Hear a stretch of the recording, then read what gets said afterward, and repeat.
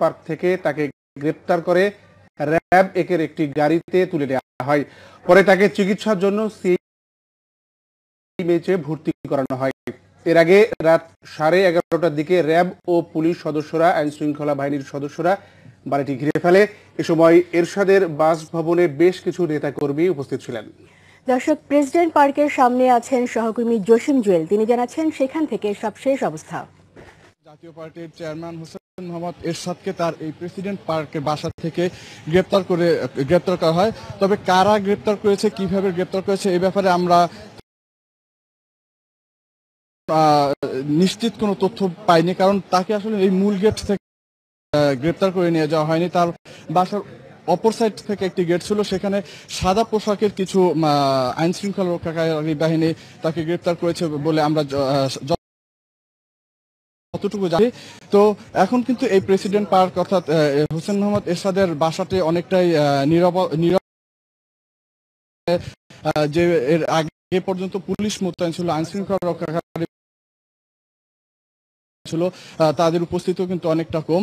তো দর্শক আমি এখন কথা বলব যে হোসেন মোহাম্মদ এরশাদকে যখন গ্রেপ্তার করা হয়, তখন এই তার সঙ্গেই ছিলেন এমন একজনের সঙ্গে।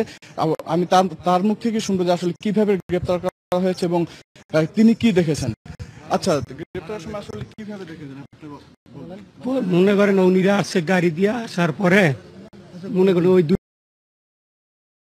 ঢুকছে। ঢুকার পরে সিভিল বেস এবং প্রথম পুলিশ ঢুকছে। ঢুকার পরে সিভিল বেসে এই মনে করেন সিভিল বেসের লোক ঢুকছে। ঢুকার পরে মনে করেন এখানে অবস্থান নিচ্ছে অবস্থান নেওয়ার পরে স্যারে নিচে নাইমে আছে নাইমে আর পর স্যারকে নিয়ে আসে নিয়ে আসার পরে গাড়ি করে নিয়ে চলে যায় সেই সময়